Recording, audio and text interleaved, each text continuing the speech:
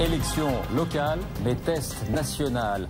Demain soir, Rendez-vous en direct sur France 2 pour le premier tour des élections municipales. Dès 18h50, vous découvrirez les premiers chiffres de la participation. à 20h, notre estimation Ipsos Teria dans les villes tests. Les réactions des candidats et des dirigeants politiques. France 2 s'associe à France Inter, Le Monde, Le Point et Public Sénat. pour mieux vous informer et vous donnera tous les résultats ville par ville. Sur le site france-tv-info.fr. Rendez-vous demain soir. Sera votre prochain maire Quelles conséquences pour la politique du gouvernement? Soirée spéciale élection municipale, présentée en direct par Marie Drucker, Laurent Delahousse, David Pujadas et Nathalie Saint-Cric, demain à partir de 18h50 sur France 2.